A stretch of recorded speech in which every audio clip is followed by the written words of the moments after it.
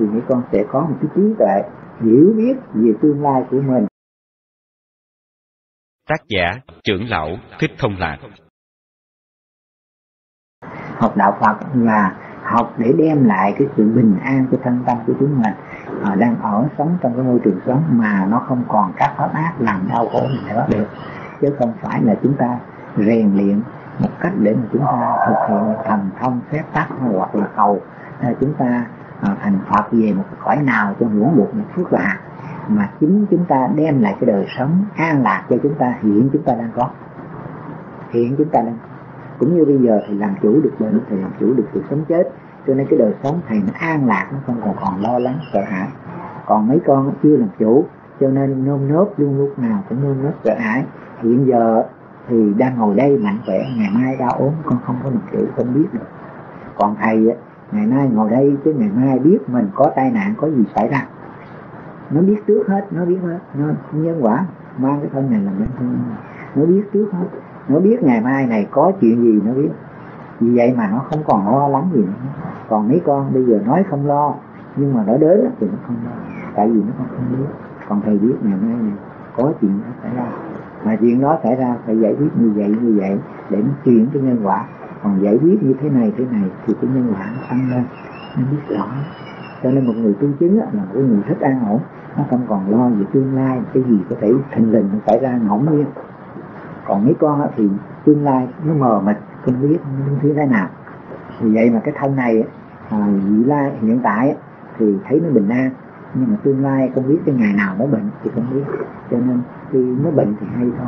Cho nên cái người tu là đem lại cái đời sống của họ rất là an ổn, họ không còn lo lắng, sợ hãi cái gì dù là ở trong tương lai của họ thích của ngày mai, ngày mốt, một năm, hai năm, họ đều thấy biết được cái sự việc xảy ra cho họ trong tương lai.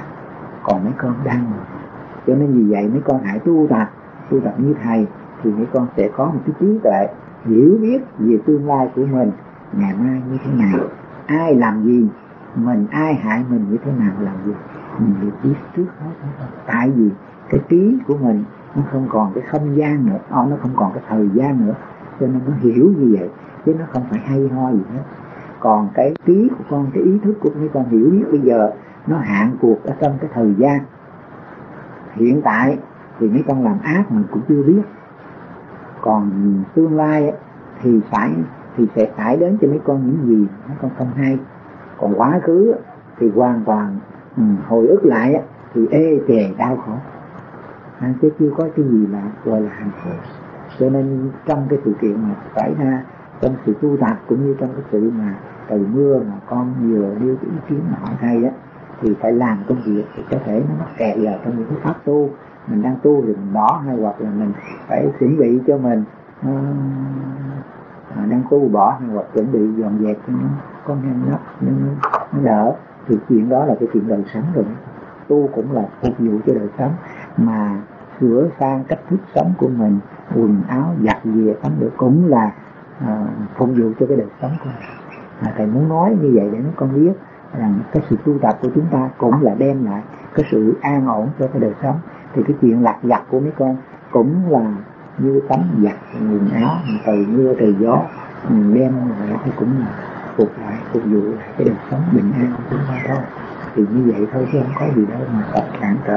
Mà nó giờ này tu kể nó ướt quần áo kể kể tu mà đi ra thì như vậy là mình bỏ về tu của mình không được.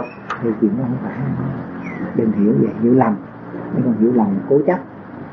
Cố chấp thì quần áo ướt rồi lát nữa đổ xuống ba y áo này cũng ướt luôn. Thì cắt nước còn nước ở tuồng không có gì hết. Khỏi sợ hiểu không? Dạ. còn hỏi thêm là gì nữa